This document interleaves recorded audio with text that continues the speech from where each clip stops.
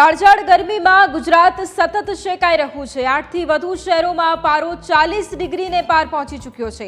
કંડલામાં સર્વાધિક તેતાળીસ પોઈન્ટ સાત ડિગ્રી તાપમાન નોંધાયું છે. જ્યારે અમરેલીના રાજુલામાં પારો એકતાળીસ ડિગ્રીને પાર પહોંચી ચૂક્યો છે. ચાલીસ પોઈન્ટ સાત ડિગ્રીમાં ભુજ છે તે શેકાઈ રહ્યું છે. ભાવનગર અને બોટાદમાં પણ ચાલીસ પોઈન્ટ છ ડિગ્રી તાપમાન અત્યારે હાલ નોંધાયું છે.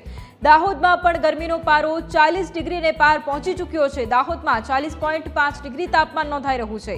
સાબરકાંઠાના બાયડમાં પણ ચાલીસ પોઈન્ટ ચાર ડિગ્રી તાપમાન નોંધાયું છે.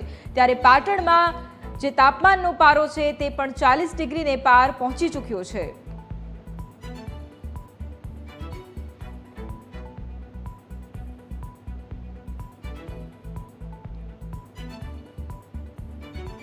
તો ગરમીનો પ્રકોપ સતત વધી રહ્યો છે. સહયોગી કોમલ પાસેથી એ જાણીશું કે અત્યારે ગરમીને લઈને શું પરિસ્થિતિ છે. કોમલ ઇન્ટરેક્ટિવ ફોનના માધ્યમથી એ જાણવું છે કે અત્યારે રાજ્યમાં કયા જિલ્લાઓમાં કેટલું તાપમાન છે?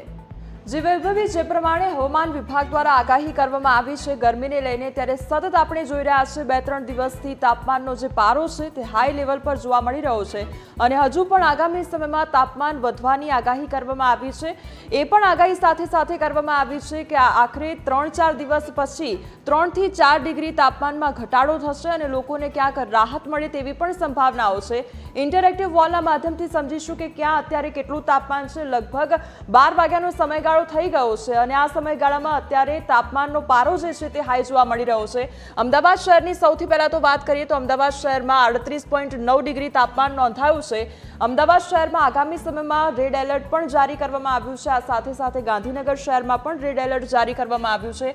આ ઉપરાંત હવે જે રેડ ઝોનમાં જોવા મળી રહ્યા છે તેના વિશે વાત કરીએ. ભુજમાં ચાલીસ ડિગ્રી તાપમાન નોંધાયું છે. આ તરફ પાટણમાં ચાલીસ પોઈન્ટ એક ડિગ્રી તાપમાન તેમજ બોટાદમાં ચાલીસથી બેતાલીસ ડિગ્રી તાપમાન જોવા મળી રહ્યું છે. તો ભાવનગરમાં ચાલીસ પોઈન્ટ છ ડિગ્રી તાપમાન નોંધાયું છે.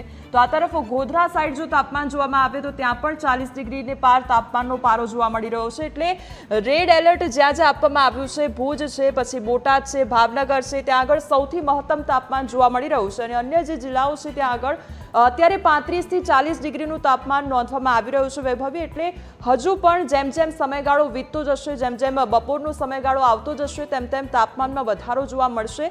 અને આગામી સમયમાં હજુ પણ આગાહી કરવામાં આવી છે કે હજુ પણ બેથી ત્રણ દિવસ એવા રહેશે કે જેમાં લોકોને હજુ પણ ગરમી સહન કરવાનો વારો આવશે.